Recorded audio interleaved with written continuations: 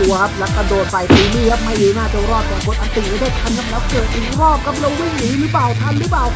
โดนสตันครับแต่ไม่โดนตามครับเรียบร้อยครับหนีออกไปได้ครับทางด้านงตีนี่